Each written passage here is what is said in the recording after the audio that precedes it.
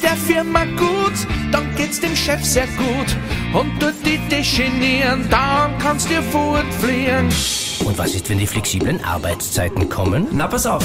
Immer wieder länger hackeln, das ist keine Sündigung. Und wenn dir das nicht gefällt, tja, dann hast du die Kündigung. Urlaub fliegen, das ist schön, dafür gibt's dein letztes Hemd. Wenn du später protestierst, tja, dann hast du die Frist verpennt. Geht's der Wirtschaft gut, dann geht's der Wirtschaft gut.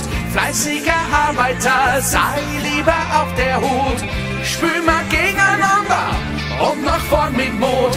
Dann rennt's für unsere Chefs ganz super gut. Ah ja, und was ist mit dem Zwölf-Stunden-Tag? Das geht so. Zehn Stunden waren schon immer Debatt, jetzt sind dann zwölf erlaubt. Was soll man machen? Dann bist halt nur mehr durchgelacht. Doch sind erst einmal die Zwölfe drin, sind wir gleich viel produktiver. Weil die Überstunden gehört, zahlen wir an die Finanzkrise. Geht's der Wirtschaft gut, dann geht's der Wirtschaft gut. Fleißiger Arbeiter, sei lieber auf der Hut. Spül mal gegeneinander und nach vorn mit Mut.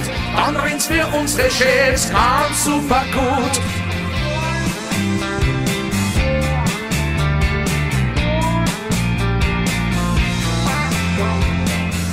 Geht's dem Franz schlecht, geht's auch dem Hans schlecht. Und geht's uns allen schlecht, dann wird's richtig ungerecht. Wenn dann die flexible Arbeit kommt, wie schaut's da mit dem Geld aus und wie mit der Freizeit? Überstunde 11 und 12, die werden dir vielleicht bezahlt. Oder wüsst vielleicht einen unbezahlten Zeitausgleich. Zählst das zusammen und am Strich ist das echt sehr widerlich. Und wenn du das dann nicht willst, kannst du schleichen ab und tschüss. Geht's der Wirtschaft gut, dann geht's der Wirtschaft gut. Fleißiger Arbeiter, sei lieber auf der Hut. Spül mal gegeneinander und nach vorn mit Mut. Dann rennt's für unsere Chefs ganz super gut. Aber wie ist das dann mit Job und Kindern?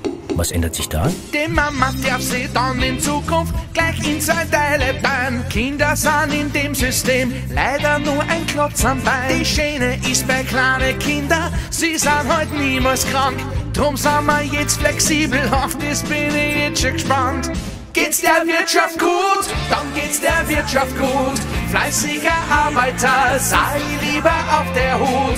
Spül mal gegeneinander und nach vorn mit Mut. Dann rennt's für unsere Chefs ganz super gut. Noch Fragen? Dann gehen's auf wir schauen auf österreich.at.